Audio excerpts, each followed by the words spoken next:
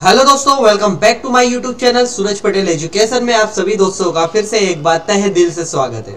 दोस्तों, मुंबई यूनिवर्सिटी के जितने भी एटीकेटी रिपीटर के स्टूडेंट हैं, इनका एडमिशन डेट चालू हो चुका है। यस दोस्तों, अभी जो लोग हाल ही में एग्ज़ाम दिए और अगर उनमें भी केटी लगाए, एक सब्जेक्ट दो सब्जेक्ट तो वे स्टूडेंट भी ये सभी फॉर्म फिलअप कर सकते हैं।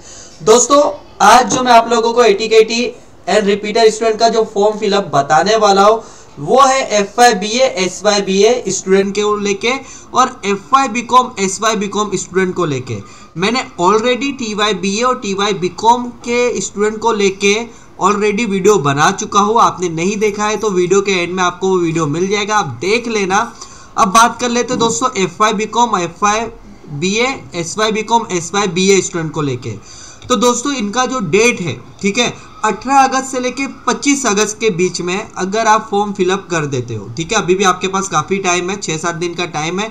अगर आप फॉर्म फिलअप कर सकते हो, अगर आपके एक सब्जेक्ट में केटी लगा है तो दो सौ देना होगा।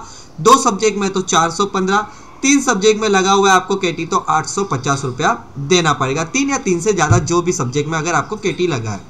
लेकिन अगर आप 25 अगस्त तक फॉर्म फिलअप नहीं करते हो 25 अगस्त के आगे अगर दोस्तों आप 26 तारीख से लेके 31 अगस्त तक अगर फॉर्म फिलअप करते हो तो दोस्तों आपको लेट चार्जेस लग जाएगा। मतलब लेट फ़ीस लग जाएगा हंड्रेड रुपीज़ पर सब्जेक्ट पे। मतलब आपका एक सब्जेक्ट का प्राइस 240 था, वो 340 हो जाएगा। दो सब्जेक्ट का प्राइस दोस्तों आपको 415 था, वो 515 हो जाएगा। तीन सब्जेक्ट का प्राइस 850 था तो उसकी जगह हो जाएगा 950 दोस्तों, ये चीज़ था और आपको फॉर्म फिलअप करने के लिए ये लिंक दिया गया है। दोस्तों, जो आपको मैं बहुत आसानी से मेरे वेबसाइट पे भी मिल जाएगा वो लिंक आप यहाँ से लिंक क्लिक करके आपका फॉर्म का प्रोसेस जो भी आप जिस तरीके से फॉर्म फिलअप करते हैं, अगर आपको उसमें भी कन्फ्यूज़न है कि सर फॉर्म फिलअप करने नहीं जम रहा है तो दोस्तों, मुझे वीडियो में कमेंट करना, मैं उसके रिलेटेड भी वीडियो आप लोगों के लिए जल्द ही बना के आप लोगों के लिए ले आऊँगा। थैंक यू सो मच दोस्तों। फिर से मिलता हूँ नेक्स्ट वीडियो में। जब तक के लिए बाय बाय दोस्तों। जय हिंद, जय भारत, दोस्तों।